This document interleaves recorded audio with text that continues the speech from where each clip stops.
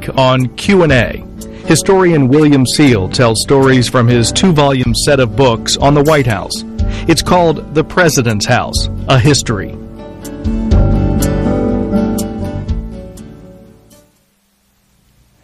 William Seale, you've written 1,415 pages of material on the White House. What was the hardest part of doing that? Well, I guess the research was the hardest part, and also compressing it for that many pages, compressing this huge story. There are many things that couldn't be used or had to be dealt with in a, in a sentence or a short paragraph that I would love to have gone on and on about, but I couldn't, and it's the process of actually throwing things out, even with 1,400 pages.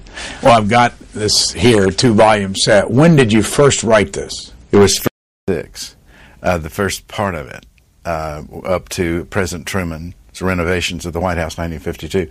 This takes it the story to the end of the first Bush administration, uh, George H. W. Bush, where which is where the the papers available papers stopped at the time I wrote this. How did you approach this story? Uh, the the, the, the, whole story. I mean, what was story. your from the, who are you writing it for? The central characters of the house and the various people who go there and uh, the house holds it together, and it, the various people and their reactions to living there. Sometimes manifest in what they do to the house, often manifest in what they don't do to the house, and uh, uh, that's the story of the presidents, the family, the staff that serve the presidents, the the development of an institution which President Obama will enter, uh, a very well organized institution to serve his work, and you have to look at it that way at the White House. It's work. If you had to pick a presidency, uh, and this is not a political question, more of a interesting or fun or whatever. Which which president and his family would you like to have lived with in the history? Um, that's very hard. Uh, probably Monroe. It was a very interesting time in American history. Uh, the period of Monroe and the uh, end of the War of 1812, when the United States felt at last they had really defeated Britain and um, uh, we're going into a boom situation. I think the years from uh, 1816 to 1819 would have been very exciting at the White House. What would have been like in the White House? What was James Monroe like? What was his wife like? Well, James Monroe uh, was looked a little bit like George Washington, and he was considered the like a younger son to the founding fathers. He was extremely popular.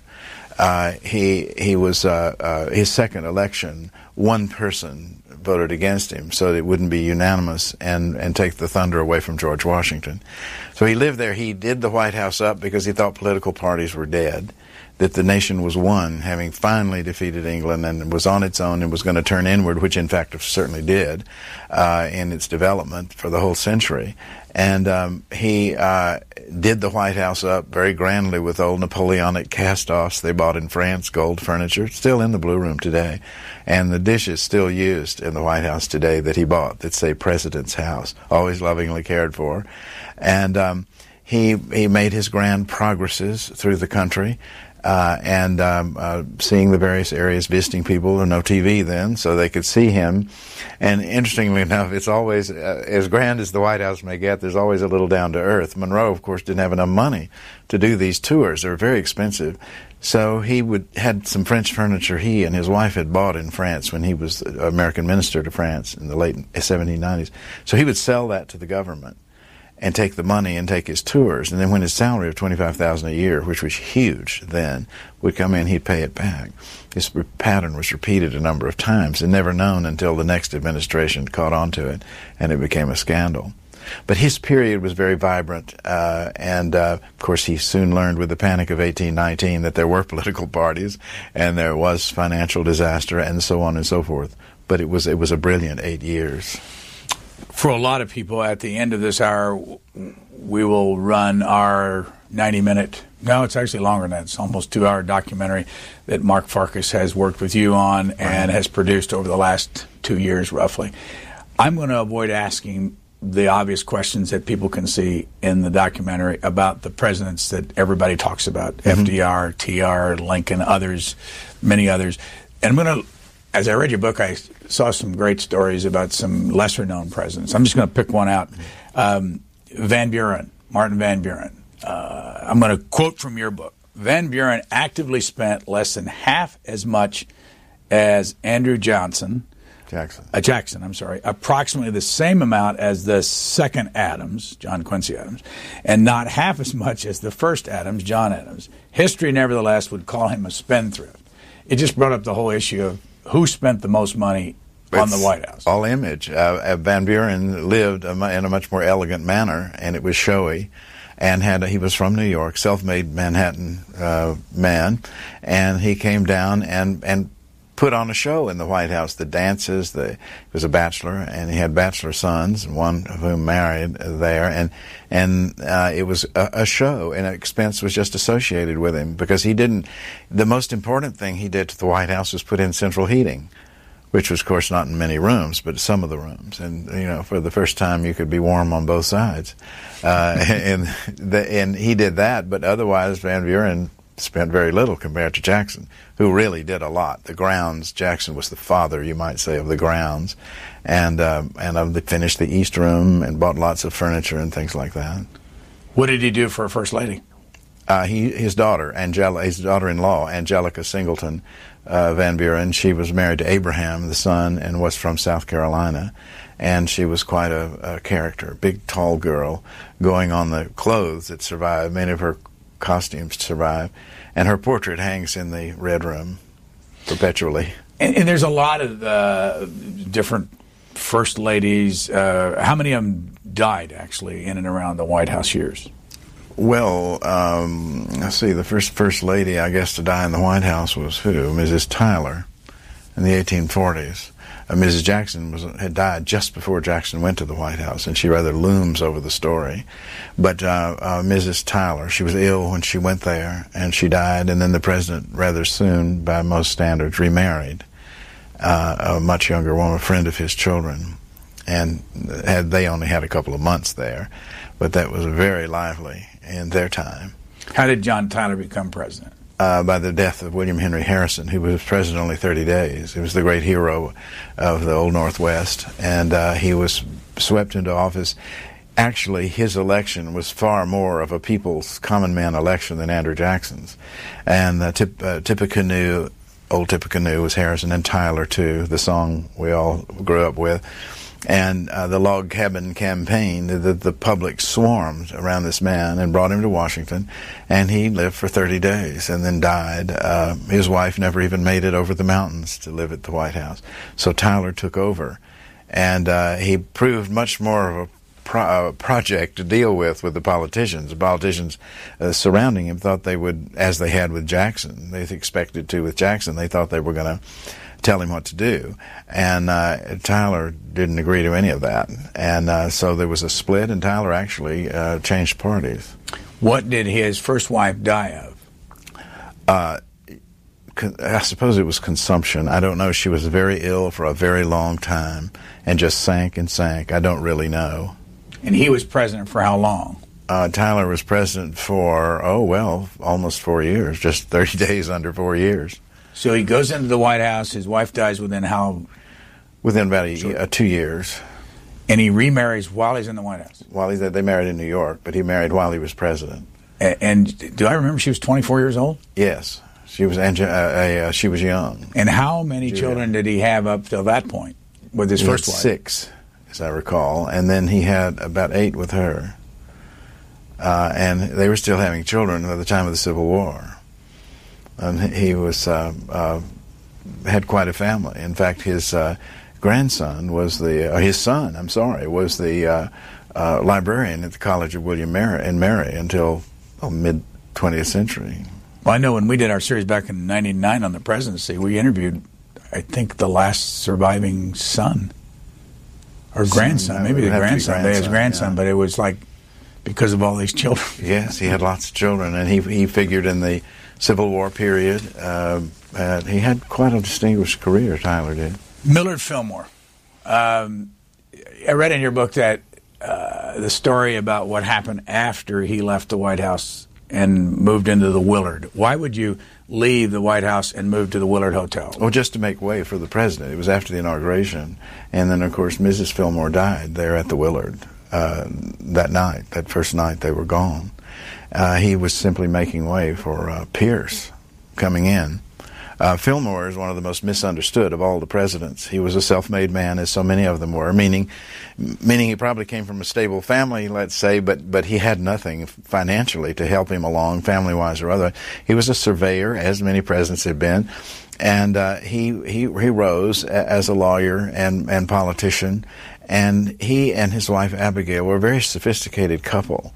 Uh, the there are various things they did. One, they built the first White House library, which is relatively minor. But if you read the titles of those books, as one scholar is doing today to analyze these things, they were very sophisticated. All the latest books on landscape and poetry and, and all of these things were in there in history uh, and so forth. But affecting us even more is the Capitol, the enlargement of the Capitol. God knows what would have happened to that building if it hadn't been for Fillmore. But he had served there and he loved it and they were going to expand it. And he s- decreed that in no way could the same way Truman later did with the White House, in no way could the old walls be violated. So they were adding out to the side of the Capitol, and the original dome came to looking like a half of an orange sitting up there. It was ridiculous. They needed a vertical piece for the Capitol to um, um, to, to, offset that long horizontal of the new wings. And of course, the, this led to the decision. You couldn't put a masonry dome on there. It was going to be a dome, but you didn't have to have because the state capitals had them. But you you couldn't put a heavy masonry dome on those old brick walls, and that's when they went to to iron uh, iron plates, uh, copied from uh, St. Isaac's Cathedral in um, um, Russia, and it, it was light enough to to to ride those old walls, and that's really why we have the dome. It was Fillmore's idea. Fillmore brought Andrew Jackson Downing, the great landscape architect, still great in American annals of landscape, to Washington to improve things, uh, to improve the mall. He changed the original plan a lot, uh, but it was the, that was the avant-garde thing to do uh, with in that day. And Fillmore is remembered mostly because of a, a Mencken article uh, about the bathtub, who put the first bathtub in the White House. And Fillmore's always been the butt of jokes, but he was a most interesting character uh, and a, a, a, sophisticated president. New Yorker. Uh, yes, upstate. And got the job how? He didn't get elected. Uh, it's uh, the death of, uh, of Zachary Taylor, President Taylor. He, President Taylor went to a Fourth of July oration where George Washington Park Custis who billed himself as the child of Mount Vernon.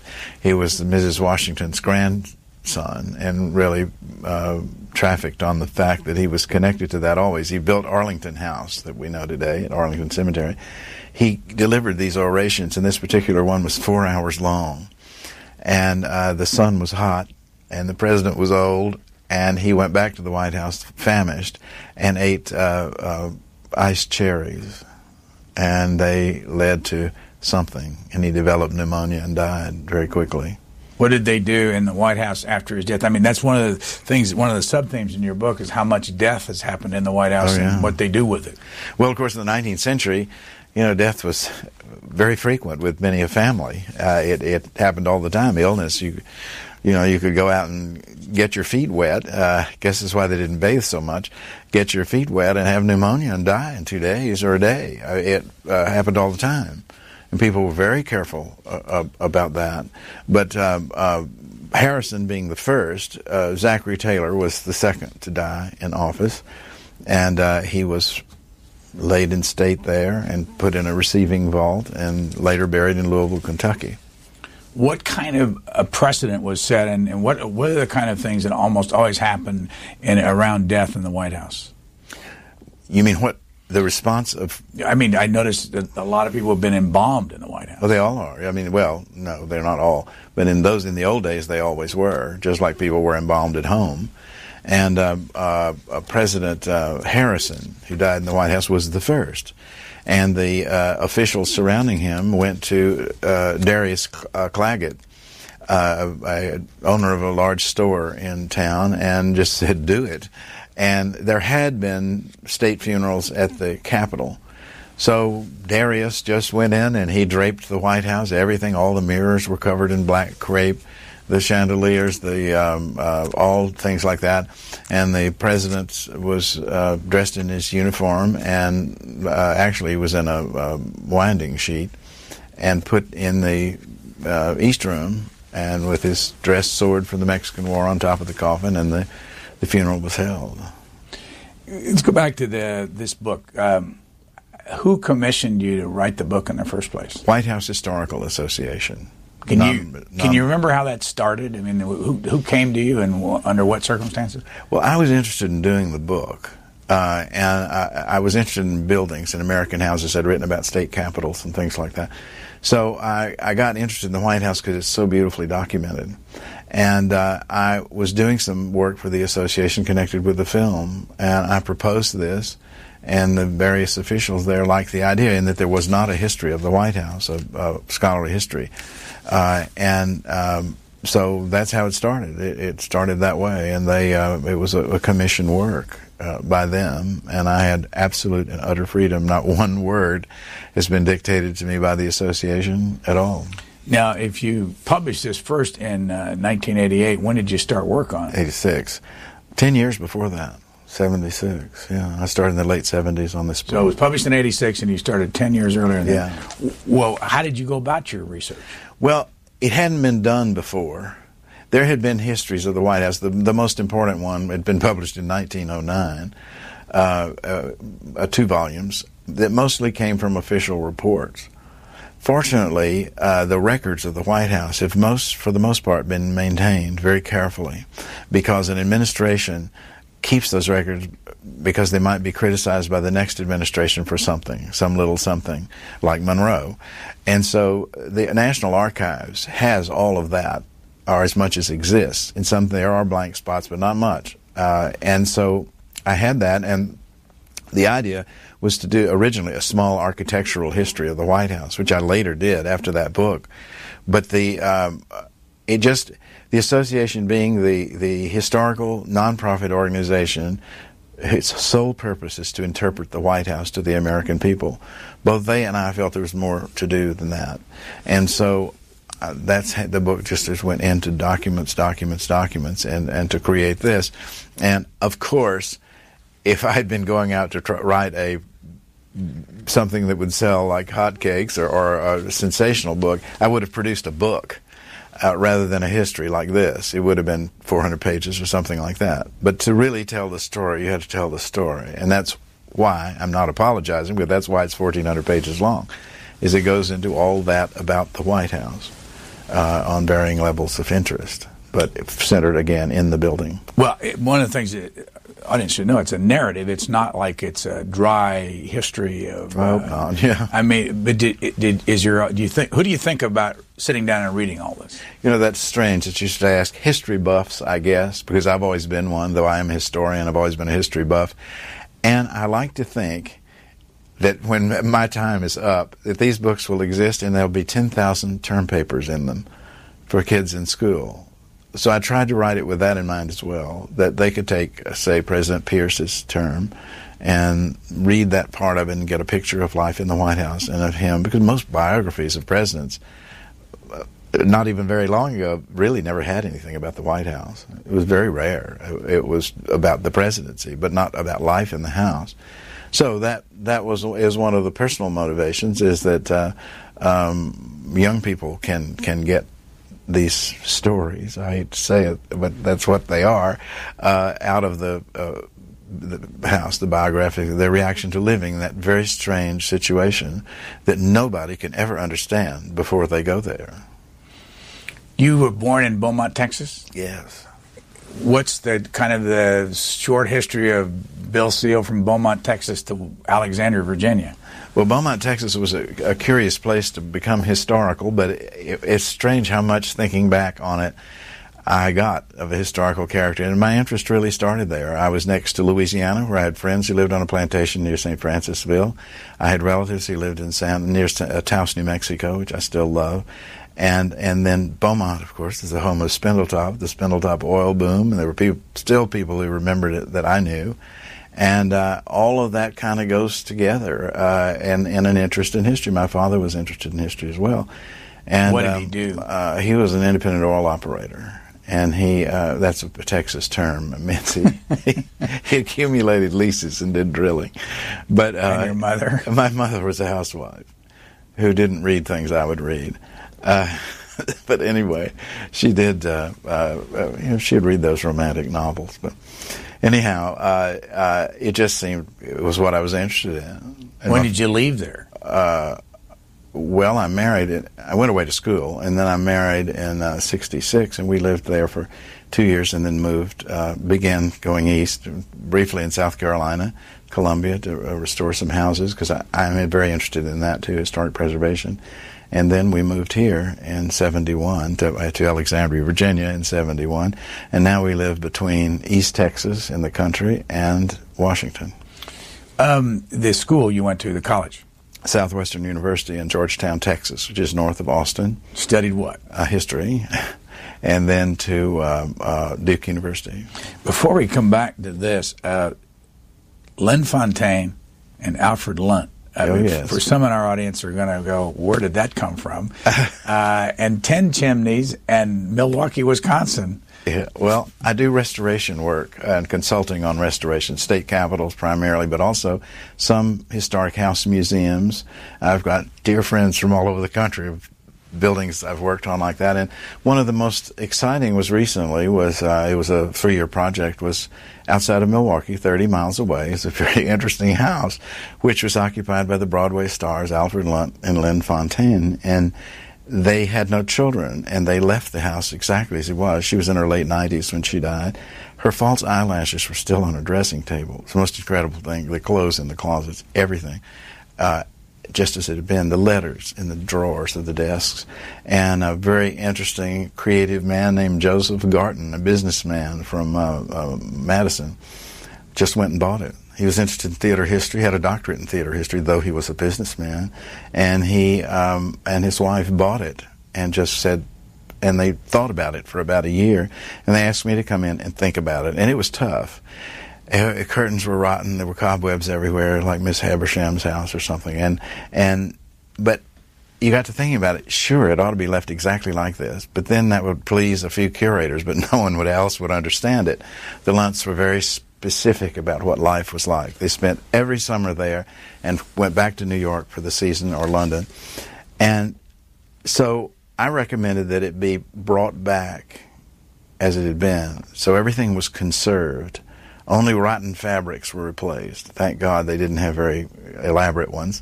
But it's brought back, it, it shines like it did in their day. We were, uh, Andrew Pinkowski took uh, layers of cigarette stain off the murals, and uh, they all smoked, of course. And um, uh, it's this scene where Noel Coward spent a month every summer, and uh, um, uh, uh, Vivien Leigh and um, Laurence Olivier uh, secretly met there during the filming of Gone with the Wind. They were going together, but he was still married. And there are all these intricacies of family and people going to their latest protege was Montgomery Clift. So he was there all the time. So these people love Ten Chimneys, and it is exactly as they knew it. And the tour they've done is fascinating. It's an institution now. I noticed on the website that uh, Lynn Redgrave is going to teach next August to the, I think there are 11 fellows that are coming in. Coming in. Lynn Fontanne, Alfred Lunt. You're going to go out there and participate? Uh, I don't know. I haven't been invited. But they have across the hill on the farm. It's a farm near a little town of Genesee Depot where no one would ever tell visiting people where the Lunts live. Well, I don't know. Maybe about 50 miles from me, but because they love them. But over this hill, they've built a big center uh, for for this sort of thing, for uh, reading, acting, studying acting. It was always Joe, always who died unfortunately a few weeks after it opened, but he always wanted it to be an ongoing um, educational center as well as the house, and the house is kept, you know, as a historical thing, and it's very unmuseumish. Well, let's go back to Okay. the White House. Uh, by the way, do you have an idea over since 1986 how many of your books have sold through the White House Historical Association? Of the of the two volumes, Yeah. around hundred thousand. And there's a brand new one out, 2008. The the one you have, yeah, the- yeah. the and, and that sells for how much? Fifty-eight, fifty-nine dollars, fifty-nine ninety-five. Of course, that's right. And it has it, it takes it 400, 400 extra pages additional, and then I've revised a whole lot in the earlier part that just has been a continuing life, you know, researching this stuff. I love it, and so I've I've been able to change a number of things in the early parts of the book. What's the difference between what the White House Historical Association sells and Johns Hopkins? There's no difference in the content at all. And why is there two different two different publishers of the book? Uh, two different publishers, but the uh, uh, association wanted to do a specially designed edition that Hopkins was not interested in. It's, theirs is like a, is a more scholarly presented edition, and this one is uh, more elaborate, more jazzed up. How do you buy this book? Is it, are they, is on the stores? web? The web? No, it's on the web. It's the way to get it. WhiteHouseHistory.org is the, it'll have a whole thing on it. Uh, maybe come back to some of the writing later. We asked the Zogby polling group during the uh, campaign, in the middle of all the polling, to tack on four or five questions about the White House. And here are the results. Uh, and we asked several questions. How old were you when you, the first time you visited Washington, D.C.? And uh, we found out that 41% had never visited, but 59% had. 28% visited when they were younger than 17. 18% visited 18 to 29 years old, and 10% visited when they were 30 to 49 years old, and then 65 and older was only a percent. What does that say to you when when 28% were younger than 17 years old? Well, that their parents took them to see the, the national capital, yeah, the national city. Does that? Well, let me go to the second question because it will. Uh, uh, they're they're well, anyway, I'll read it. When when you think of Washington D.C., which building first comes to mind as representing America? And this is not on the. Yes, it is. It's fifty percent is the White House, twenty one percent is the Capitol, fourteen percent Lincoln Memorial, and then it slides down to six percent the Washington Monument, uh, Pentagon, one percent, and on. Are you surprised that the White House is fifty percent? Yes, because I would have thought the Capitol, because of the dome, which was such a monumental symbol before it was even finished during the Civil War, and I would have thought the U.S. Capitol would have immediately said America. And but television has intervened since the 50s, in beginning in the 50s, and uh, the White House is an icon to the presidency, and the president is the closest point of human contact we have with our system. And I, I, suppose that accounts for that. It's where the president lives. There are no beds in the Capitol that we know of, and uh, some the, the, man sleeps in the White House. That's his home, and I think there's that point of. Uh, identity. Uh, and parenthetically, I don't think the White House would exist if Lincoln hadn't lived there, because I think the whole nation shared his north and south the melodrama of his family uh, life as it fell his family fell apart just like other families in the nation fell apart and people had that in their mind's eye that's the stage set for all of that and it it always congress never would touch that house uh, the uh, question we really wanted answered was have uh, you ever taken a tour of the white house and it turns out that 19% of the americans have toured the white house um, 80% say no, which means it depends on you know what age group and all that. It's between 50 and 60 million people in this country have toured the White House. Your reaction to that figure, does that make sense to you? Yes, it used to be, uh, for years and years, it was a million, million and a half a year that went through the House. It's more restricted now. You have to go by reservation through a, con- a congressman or a member of Congress. But uh, it was open. You could stand in line and go through. I've done it myself many times with friends. And uh, uh it isn't anymore. But there were that many people. They clocked how many people went through, and uh, it, it, was uh, that doesn't really surprise me. The last thing was, uh, if you're offered a tour of the White House, which of the following uh, rooms would you be most interested in seeing? Oval Office was 53 percent.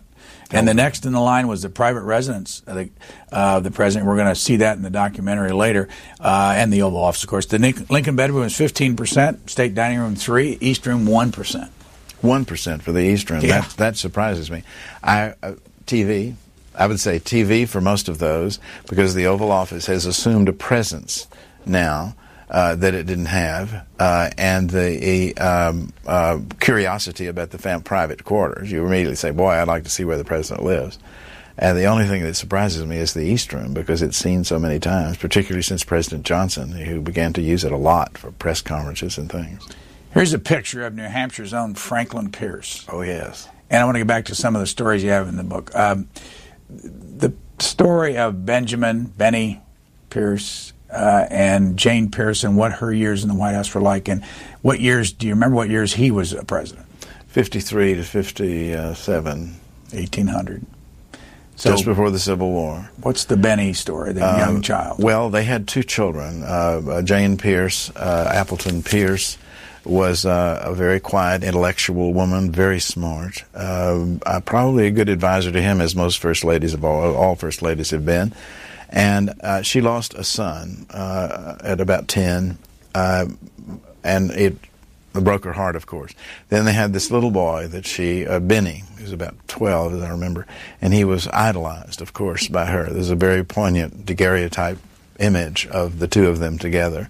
And on the train, uh, a train trip after Pierce's election, there was a train wreck, and the little and the boy was thrown from the train and rolled down the hill in the snow. And President Pierce jumped out of the train and ran down to him. And when he picked him up, his cap fell off. His head had been crushed, and he died. And Mrs. Pierce took the unfortunate uh, chorus of saying that it was God's punishment of her of, and her husband for ambition and wanting to be president.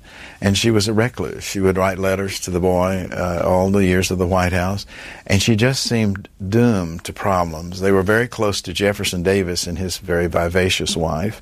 The Davises had a little boy. And Mrs. Davis, being very pushy and very bright, took it upon herself to bring Jane Pierce out. And so she did it through the little boy. And Jane Pierce did become interested and went places and did things. And then the little boy died. And she went right back into where she was, from which she never recovered. what impact did that have on his presidency? I don't, except for a rather unhappy home life, I doubt very much. He was in a very tumultuous time. He took the um, states' rights side in the terrible Kansas uh, battles uh, and um, was a representative of the old Democratic uh, Party. Uh, but uh, I, I coped with it uh, and had her along. She became extremely dependent, and the rest of until she died, um, she was. Here's a, a quote from um, your book. Uh, it was spoken by a woman named Agnes Meyer. Who was she? Oh, you mean not our Agnes Meyer from, from Washington Post? Well, this is earlier. This is the Warren Harding Agnes Meyer. Oh, the, yeah. who said, Unfortunately, I'm not the only one who thinks she is making a, a fool of herself by such incessant chatter, talking about uh, Mrs. Harding.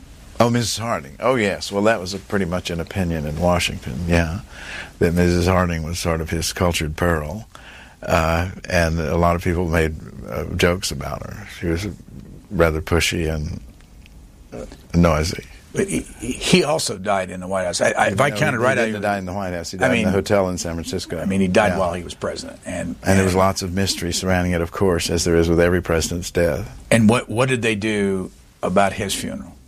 It was the traditional White House funeral with little less drapery. She did not want all the mourning drapery. So there was a little bit of it in the East Room, uh, but not a lot. And then his body was taken to the Capitol, and then it was returned to Ohio. You, you talk about um, the Oval Room on the second floor, uh, and that it, it was wholly illegal what Warren Harding did on the second floor. Oh, yeah. Poker, makeshift bars, several poker parties a week, smoke pipes, cigarettes, cigars. hmm Whiskey, plenty of whiskey.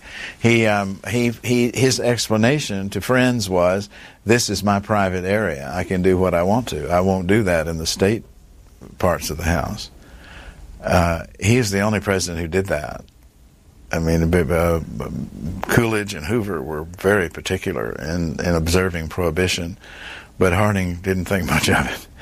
Um, you write about somebody named Jess Smith in, in the Harding administration and Charles Cramer, and you say that Jess Smith was ordered back to Ohio and shot himself, hmm and that Charles Cramer uh, resigned from the Veterans Bureau and committed suicide. What was that all? They were the very first that uh, were accused of corruption and graft in their federal positions. And uh, most of the Harding scandals unfolded after his death, but he knew about them. And these were close, close friends. And they were devastated and went home and uh, were very depressed. But you know, Harding said that someone asked him something once about his friends, and he said, uh, his enemies one time, and he said, It ain't my enemies that keeps me up nights, it's my friends. He says, uh, I actually wrote that quote down. I have no trouble with my enemies. I can uh, take care of my enemies all right, but my uh, damn friends, my God, I guess he said GD friends. Uh, keep me up nights. Keep him up night. No, but but talk, talk about some of the, the customs. When you start reading your book, it was very formal. You talk about George Washington and wouldn't shake hands with people. I mean, was all. And when did that? Why was that? And when did the shake? When did they begin to shake hands with their constituents? Well, one of the big problems with the president, or challenges with the presidency, is how to act. Frankly, which fork to use, I guess you'd say, on simpler terms. With Washington, of course, there'd never been any heads of state before, um, but kings. And so what they did, they patterned on what George III did, whereas John Adams had experienced it. And Washington, of course, being president, was both prime minister and head of state. So he, the, the, the president unites those two jobs, but it became honed down. It, it, it got to be almost corny uh, uh, with the, the ceremony with the men standing in the oval. Uh, and all that. And when Jefferson came in, Adams followed some of that. And when Jefferson came in, the third president, he abolished all of it. Only one ceremony did he have, and that was when he stood in the center of the Blue Room and received the credential of ambassadors, which was carried on all through time until recently, and now it's in the Oval Office. But the whole issue of how a president should act and present himself to the public the people would know when they come there how to do how to, to do right and not do things that are embarrassing to the presidency. Goes all through but it became very uh, uh, jefferson shook hands. He began that. And um, uh, you go into monroe it becomes a little more distant. And sometimes all through history it's a little more uh, stringent. Uh, the presentation of the president a little more distant between people who come uh, or it'll the whole thing will change into a very a very great friendliness. But the dinner table is the basic unit of entertaining at the, at the White House and always has been. Who entertained the most? Uh, oh my goodness, the greatest numbers would be Lyndon Johnson and Jimmy Carter. but uh, way in the past, the entertaining, well, it varied. Uh, Van Buren, Tyler, in that period, with a lot of entertaining. With Lincoln, it was arduous. He didn't enjoy it much, and he had to do it. He was so busy. But they had the state dinners, and the season in Washington, which ran from December to spring, uh, where the, everything was sort of centered around the White House. Uh, uh, parties were held. There were receptions. There was a Fourth of July reception. There was a New Year's Day reception, and then until the 1850s, there was the uh, 8th of January, Andrew Jackson's victory at New Orleans. And those were public receptions, open to the public, and the public came. And by the 1850s, 6,000 was typical attendance. President's hands would be bruised. Uh, First Lady usually retreated behind a table or held a big bouquet to avoid it. But this was stopped in the late 20s. Uh, it just it got totally out of hand, and most people, many people who came couldn't even get in because the doors would be closed at a certain time, and there'd be a line way out on Pennsylvania Avenue. So uh, those receptions, uh, last was New Year's. Fourth of July was too hot in Washington. People began going to the shore in the 1870s. And then the last one, New Year's, lasted till 1929, uh, and it was held once more in 32, and then no more. You mentioned uh, hot summers. Who was the first president to have air conditioning, and when did it become a central air White House? Well, to begin with, air conditioning was discovered, if you'd say, at the White House. They were trying to cool the house with uh, Garfield when he was dying. So the principle was discovered there. The first air conditioning in the White House was 1909. President Taft in the West Wing with blocks of ice in the attic, never worked, leaked. So they gave it up. President Roosevelt, Franklin D. Roosevelt, had asthma problems, as did many of those who moved into the house of his staff, because he had his staff close at hand, many of them.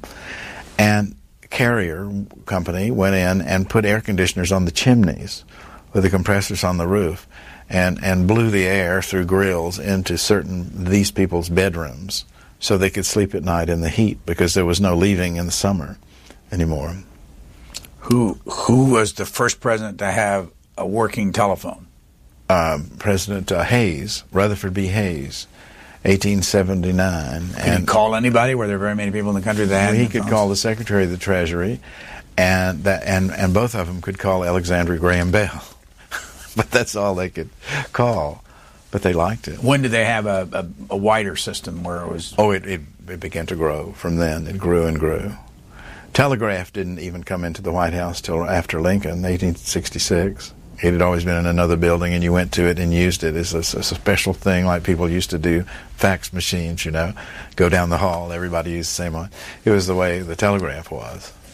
I read in your book that uh, Calvin Coolidge uh, lived at 15 DuPont Circle for six months outside the White House while he was president.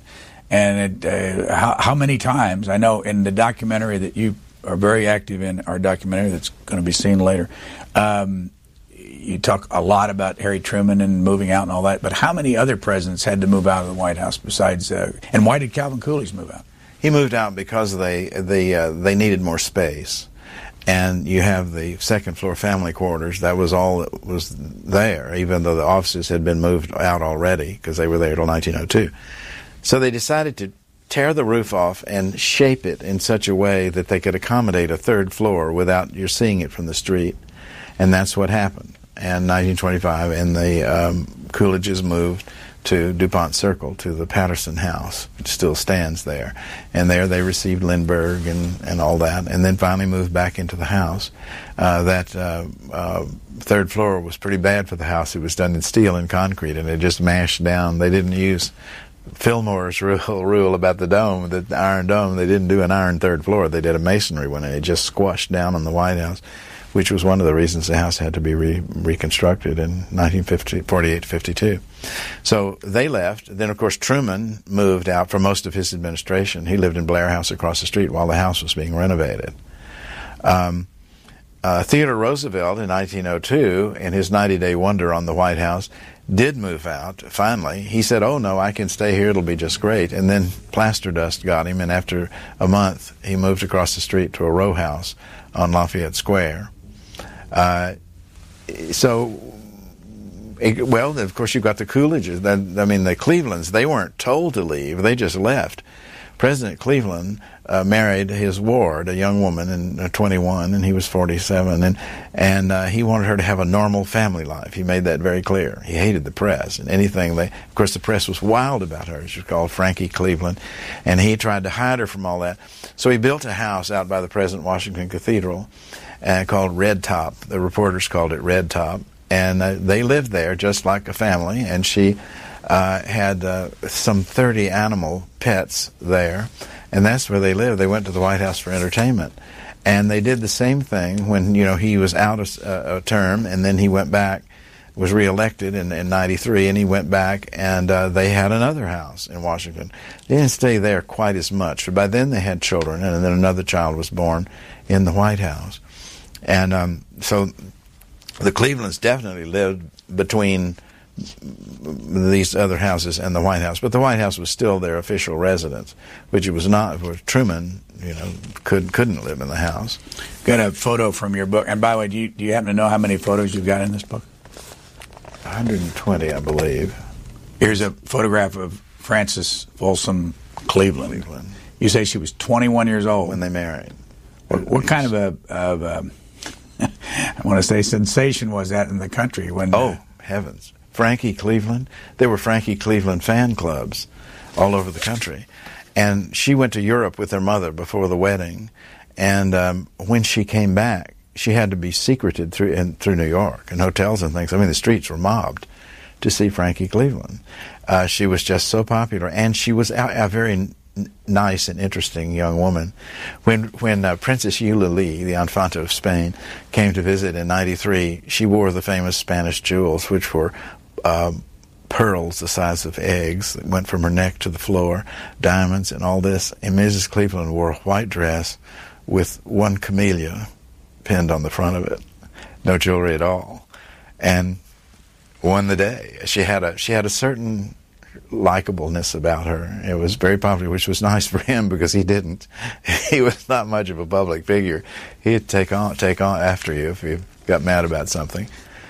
Here's a photograph of Ida McKinley, and the reason I show this is because he also died in the White House. I'm not physically in the White House, but he was assassinated. Uh, what impact did that have? I mean, what, what was their relationship? What impact did that have uh, on the country when he was assassinated? their relationship was not totally unlike that of Pierce and Mrs. Pierce. Uh, they had lost two children, two little girls, and uh, long before the White House, and Ida McKinley was a subject to depression. She also had epilepsy. uh, developed epilepsy, and um, she was a very smart, bright woman. She was first first first lady who ever worked on a salaried job, and she. Uh, uh, long before they went to the White House, and McKinley brought the country into the international world with the Spanish War, and then was killed at the uh, Pan American Exposition in Buffalo, New York.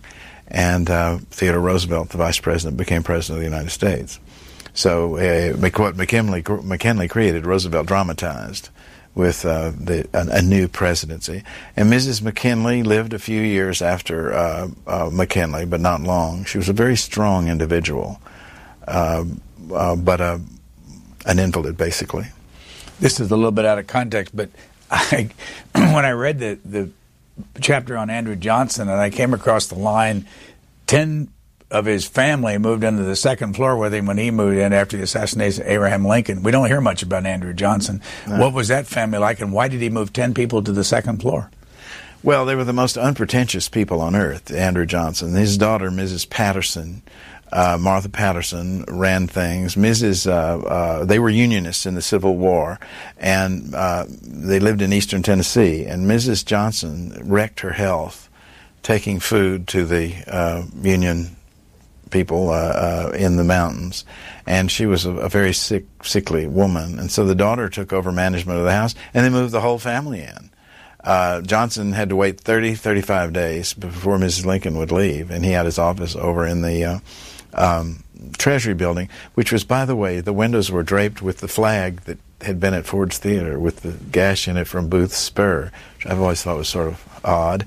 But Mrs. Lincoln left. The house was just torn to pieces. The public had gone through and whacked pieces of curtains and taken silver and everything else out of it, and it, it, it, they renovated it. But the family lived there, and they were the plainest people. They never had any pretenses at all about being anything grand.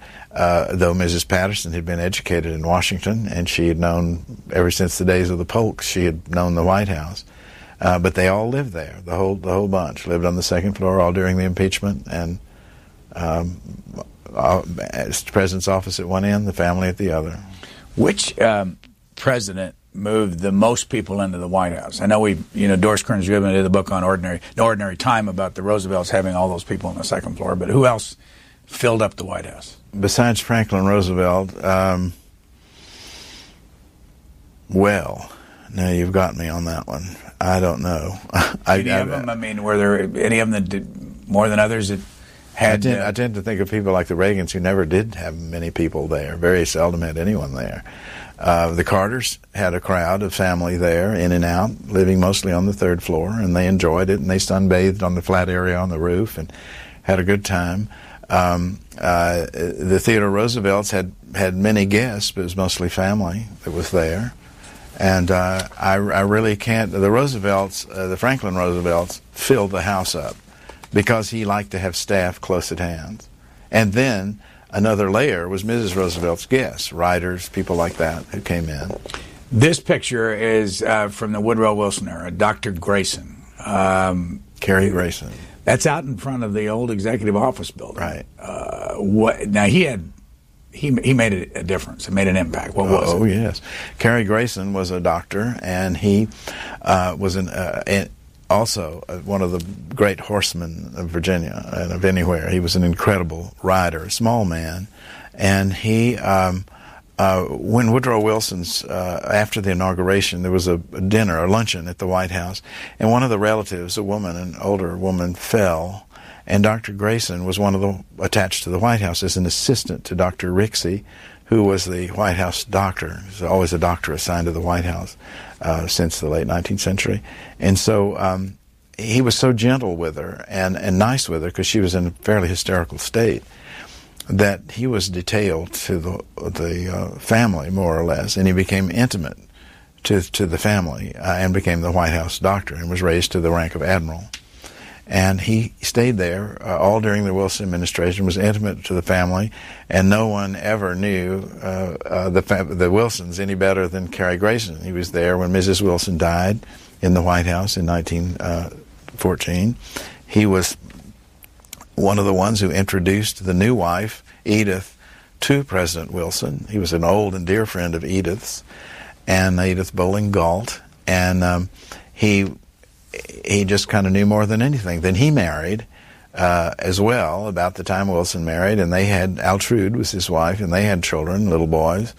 And um, uh, one of in Woodrow Wilson's time when he had the stroke, one of the children was so close to him um, that uh, Gordon, uh, who lived until recently, um, was very close to him. Wilson would look forward to visits from him in his sickness, and he, he, he pepped him up and hid cookies all over himself as when when he was so sick, and began to recover. And the little boy was attributed by the family and the doctor with being a great help. In your research, you just mentioned that somebody had died recently. How often were you able to talk to a member of the family? Uh, now and then. I have to be perfectly honest in not having much use for White House memoirs uh, because it is the major part of almost anyone's life. I would say anyone's life. They live there. And they so often do not jive with the facts at all about the White House and life in the White House. Because? Uh, maybe they don't remember them. Whether you get away and you make it all one panorama and drop out some details, I don't know. But that's pretty much the way it is. Very few White House memoirs have been enormously helpful. They're helpful in little ways. There's a particular good, inter- particularly good interview with Mrs. Kennedy, which I had never seen at the LBJ Library, by the Texas historian Joe Frantz. Wonderful interview.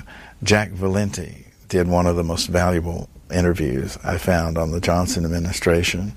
Uh, Wiley Buchanan, former uh, uh, director of proto- chief of protocol was very good. But uh, a lot of times it's just a reiteration or it, it, it, it varies. So I didn't pursue those much. I talked to Margaret Truman a good deal, and she was interested in history, just like her father, and she wanted to get things right, but she got things wrong, and she admitted it. Uh, she says, I don't really remember if this is exactly the way it was. And so I could have made the whole thing memoirs and decided not to. Here's a picture of Calvin Coolidge and his two sons. Uh, the story. The story, of course, is that President Harding died suddenly in California on a tour uh, speaking tour, and Calvin Coolidge, former governor of Massachusetts, became president of the United States. He was a totally different kind of man. You know, Harding was a glamour boy. He was uh, uh, the first president elected by women because he had an enormous appeal and beautiful voice. Uh, if you remember, there are recordings of his voice. Coolidge was a very different sort of a man. He was very businesslike, very cryptic and uh, just as witty as he could be. And those were his two boys. Which and, one's which? Which uh, one's John on the right? John is on the right, and uh, Calvin's on the left. Uh, Calvin's on the left, who died in the White House. He developed a blister on the tennis court and was dead in four days of, blood poisoning. And uh, of course, naturally, it was a horrible thing for the family.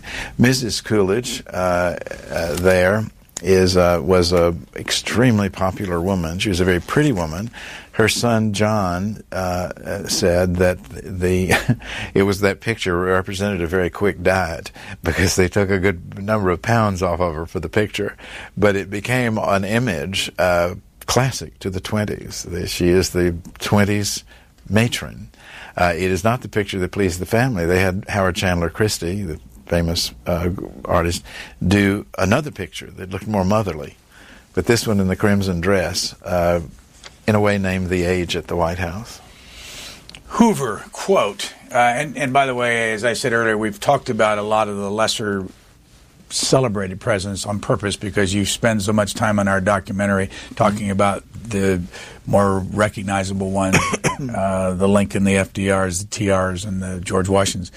Hoover, Herbert Hoover. If ever a man became president purely to serve the public, it was Herbert Clark Hoover. Those are your words. Why? Why is he more interested in serving the public than others? He was a brilliant man married to a brilliant woman. And they made together a fortune at a young age in mining, lived in England, lived very grandly in, in England, uh, very interesting lives. When he was a great humanitarian. He fed the Belgian people in their horrible time of strife. He's still a great hero there. He was a man who could almost move mountains. He had such uh, this tremendous ability, but he was a humanitarian at heart. He didn't need to make money.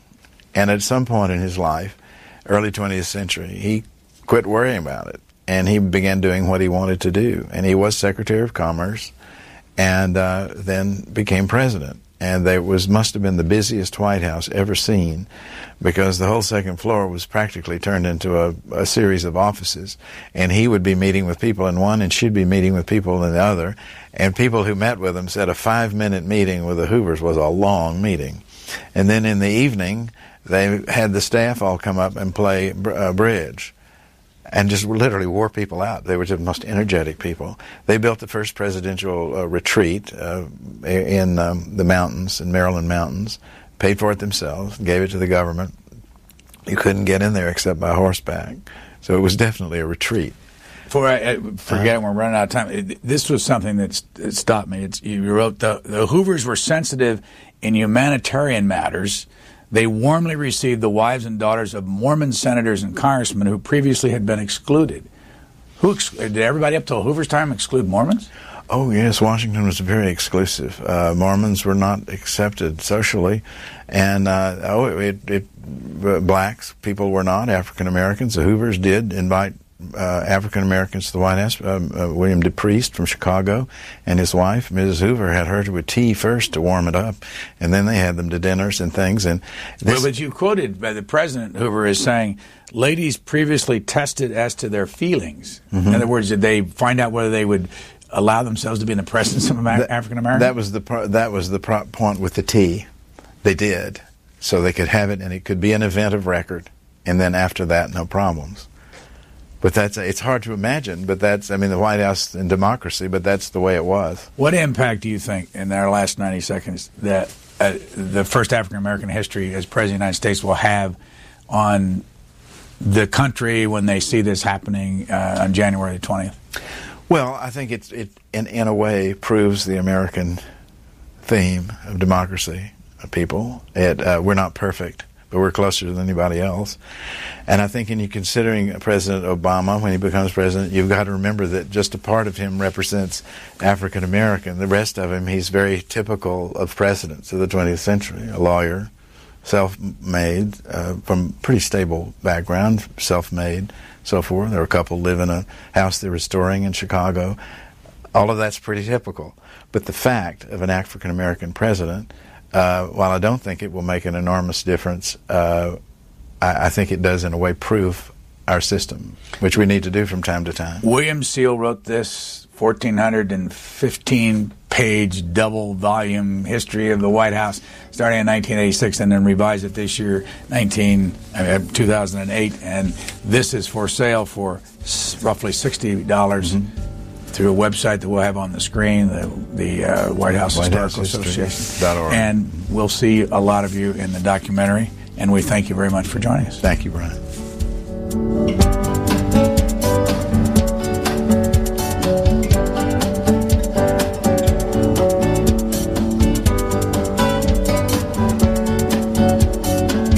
For a DVD copy of this program, call 1 877 662 7726. For free transcripts or to give us your comments about this program, visit us at qna.org. Q&A programs are also available as C-SPAN podcasts.